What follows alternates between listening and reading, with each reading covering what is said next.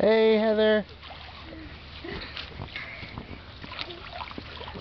Edward's getting back in the pool. Whoa. You want me to help you get in? You got in? Good job.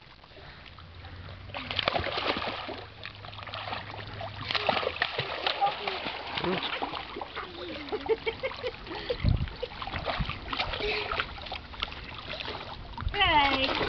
He's trying to swim.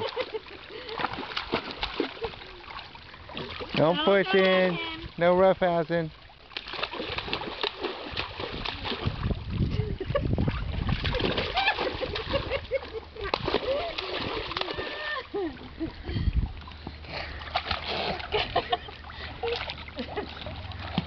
Go, Edward.